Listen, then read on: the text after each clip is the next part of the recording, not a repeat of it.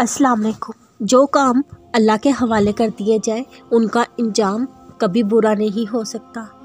जब अल्लाह ताला किसी बंदे से मोहब्बत करते हैं, अल्लाह ताला उस इंसान को आजमाते हैं।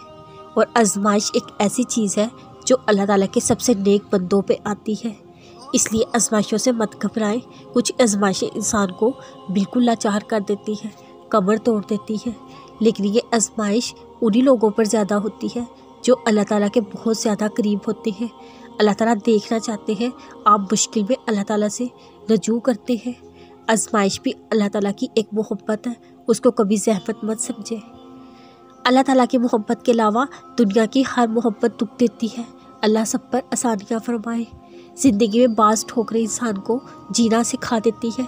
बाज़ ठोकरें इंसान पर दुनिया का असली चेहरा अया कर देती है। बाज़ ठोकरें इंसान को दुनिया से चुता करके अल्लाह से जोड़ देती है और शुक्र के अजर बड़े वसी होते हैं। तुम वो मांगते हो जो तुम्हें अच्छा लगता है। अल्लाह वो देता है जो तुम्हारे लिए अच्छा होता है।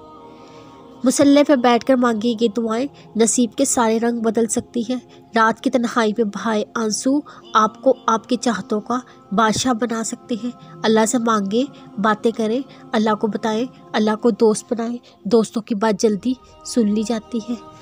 जहाँ सब्र होता है, वहाँ शिकवा नहीं किया जाता। ईमान की सबसे बड़ी कुंजी एतबार है। हम यकीन तो कर लेते हैं, मगर कभी एतबार नहीं करते। हम कह देते हैं, खुदा हमारे साथ है, मगर हम कभी उस पर सच्चे दिल से एतबार नहीं करते। हम उस खुदा को अपना आखिरी सहारा बनाते हैं, पहला क्यों नहीं?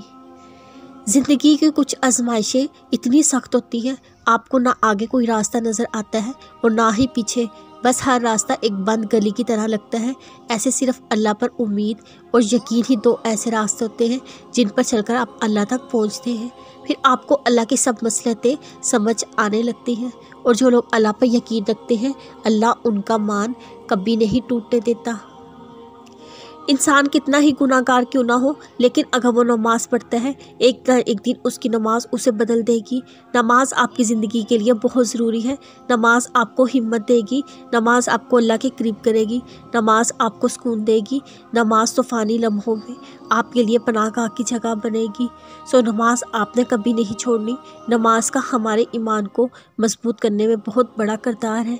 इसे तो एक काफर और एक मुसलमान में सबसे बड़ा फ़र्क जो है वो फ़र्क नमाज़ का है। मैंने कुरान से ये सीखा, कुरान इंसान का सबसे बड़ा उस्ताद होता है। कुरान आपको आपके सवालों के जवाब देता है। कुरान आपको आपके मसलों के हल निकाल कर देता है। कुरान आपके दिल को खोलता, आपको सच कहना, सुनना सिखाता है।